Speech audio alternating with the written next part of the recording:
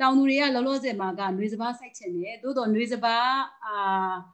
တော်တော်များများစိုက်တဲ့လူတွေကပဲဘက်ကိုပြောင်းစိုက်ဖို့များမယ်ထင်ပါတယ်စပါးကကုံသွေးရေးမငြိမ်တော့ဈေးကွက်အာမခံချက်မရှိဘူးပဲကတော့ကုကုံဈေးကွက်ခိုင်ပါတယ်လို့သိထားပါတယ်အဲ့တော့စပါးဈေးကွက်ကဘလို့များဖြစ်နိုင်မလဲဆိုတော့မိကွန်းလေးပါဒါလေးကတော့ဟိုဆရာမကိုတော်တော်လေးကိုအကြက်ရိုက်သွားစေမယ်လို့မြင်ပါတယ် သို့တော့ကျမတို့တောင်သူတွေဘက်ကများဘာများအကြံပြုကျင်လဲဆိုတဲ့အချက်ကလေးပါဆရာမဟုတ်ကဲ့ပါရှင်ဟုတ်တယ်ဒီမေကွန်မေးပေးတဲ့တောင်သူကြီးကတော်တော်ကိုကျေးဇူးလက်တင်တယ်အဲနောက်ပြီးတော့မှရင်ဘတ်ထဲလဲတော်တော်လေးဟာငါတော့တော်တော်ဒါကတော့ဒီဒီဒီဟာတော့တော်တော်လေးဖြေဖို့ခက်မဲ့ဒုက္ခပဲပေါ့နော်ဘာလို့လဲဆိုတော့ နိုင်ငံရဲ့အခြေအနေနောက်ပြီးတော့မှလမ်းပန်းဆက်သွယ်ရေးအခြေအနေနယ်မြေဒေသအေးချမ်းမှုအခြေအနေတွေပေါ်မူတည်ပြီးတော့မှပြည်တွင်းဈေးကွက်နောက်ပြီးတော့မှပြည်ပကိုထွက်ရမယ်ထွက်ပေါက်တွေရဲ့ဈေးကွက်တွေကလည်းအများကြီးသက်ဆိုင်တာဆိုတော့ဒါပေမဲ့စွမ်းနိုင်သမျှပေါ့နော်တောင်သူရဲ့ဒီဒီဒီတကယ်ကို reasonably ပေါ့နော်ကြာကြာနာနာကိုတွေးပြီးသူ့ တောင်သူတိုင်းမြန်မာတနိုင်ငံလုံးမှာရှိတဲ့ຫນွေစပားဆိုင်မဲ့တောင်သူတွေရဲ့အပူပါပဲဒီမေကုန်းကိုမေးပေးတာလीအဲ့တော့ပဲနဲ့နောက်ပြီးတော့မှဝင်ဝင်မြန်မြန်ရမယ်ဂျာတိနဲ့ဆောင်းတိနဲ့နောက်ຫນွေတိထက်ပေါ့နော်အဲ့ဒါပြောင်းဆိုင်တာပိုကြိုက်မယ်ဆိုတာတော့အများကြီးမှတ်နိုင်ပါတယ်အဲ့တော့ကမတို့ကဆန်စပါးဈေးကွက်လေးပေါ့နော်ဒီຫນွေစပါးစိုက်မယ်မလားပဲစိုက်မလား ဆိုတော့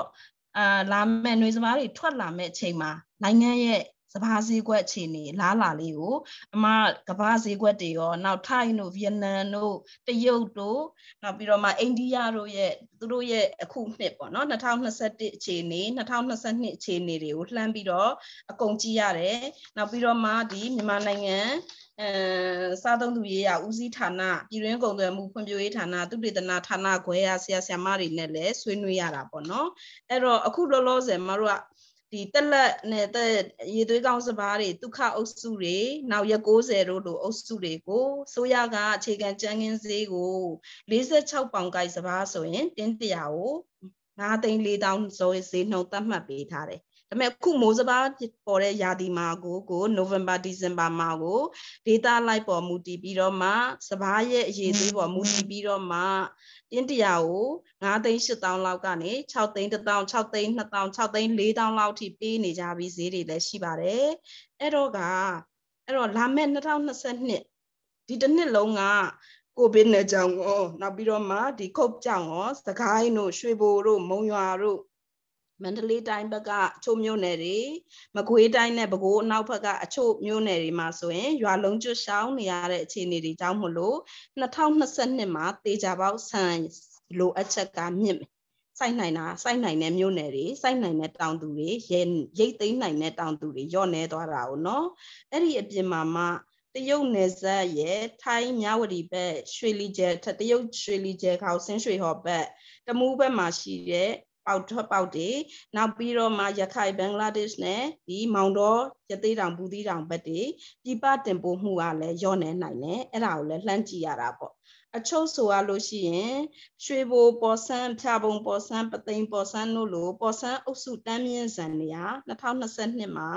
ဈေးကောင်းနိုင်မယ်တရုတ်ဝယ်လက်အလိုက်အများဆုံးဖြစ်တဲ့ဆန်မာတွေအရက်ချက်လို့ရတဲ့ဆန်တွေစကွဲတွေ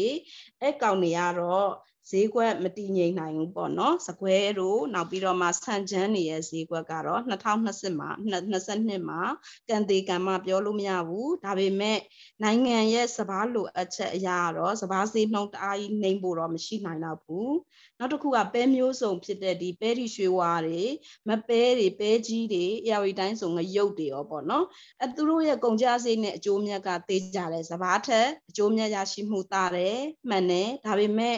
ခေတ်စနစ်ကကြတော့အခြားမျိုးနယ်တွေတခြားအထူးသဖြင့်သခိုင်းတိုင်းဘက်တွေနောက်တချို့မြေပြန့်လွင်ပြင်တွေတရားတွေမှာတိုင်းသူပြည်သားတွေကရှောင်နေရတဲ့အချိန်တွေဖြစ်လို့ဝမ်းစာဖူလုံဖို့အများကျိုးအတွက်ဆိုရင်ຫນွေစပားကိုမတို့ကအရှိရဆရာဆရာမလေးတွေမောင်ညီမလေးတွေပြောခဲ့တယ် ဒီတွင်းအားစုအ ਨੇ ဆုံးကုန်ကြစရိတ်အ ਨੇ ဆုံး low cost technology ကုန်ကြစရိတ်ကို short နိုင်သမျှ short ချပြီးတော့အထွက်နှုံအသင့်အတင်ရအောင်ရတဲ့နီလန်းနဲ့ပေါ့နော်စ조사ပြီးတော့စိုက်ပျိုးပေးဖို့တော့လိုပါမယ်။နောက်ထိုင်းရယ်ဗီယက်နမ်ရယ်အိန္ဒိယရယ် သူတို့ကမိုးခေါင်တာမိုးခေါင်တန်နေဟိုခံခဲ့ရတဲ့အတွက်ကြောင့်မလို့ဒီကမ္ဘာဈေးကွက်မှာဆန်ဖြူတွေအမထတမ်းမြင့်ဆန်တွေဆန်လုံးညိုတွေပေါင်းဆန်တွေကောက်ညင်းစပါးတွေကဈေးနှုန်းတွေ2008နှစ်မှာပိုတက်နိုင်တယ်အဲကြောင့်မြန်မာနိုင်ငံမှာလည်းအခုຫນွေစပါးမိုးစပါးစိုက်ထားတဲ့လူတွေဟာ2022စပါးရိတ်ချိန်တွေမှာဆန်ဈေးနှုန်းကဟို တိတ်ကြီးပေါ့နော်နှိမ့်ကျသွားစရာအကြောင်းမရှိပါဘူးအသေးစိတ်ပေါ့နော်10နှစ်ဒီ2020 17လောက်ကနေ2020အထိ10နှစ်လောက်ကိုအပတ်စဉ်ပတ်စဉ်စံစပါးဈေးနှုန်းနေဆိုရင်မတို့ညီမလေးရင်ဖြူတို့ရဲ့ဒီ Greenway app ကလည်းအပတ်စဉ်ကုန်စည်ဈေးနှုန်းတွေကိုမှတ်မှန် up to date တွေတင်ပေးနေတယ်ကိုယ့်ရဲ့ဒီ AR တိုင်းမြောင်းမြတို့ဒီပသိမ်တို့မှာရှိတဲ့ဈေးနှုန်းပြင်ကို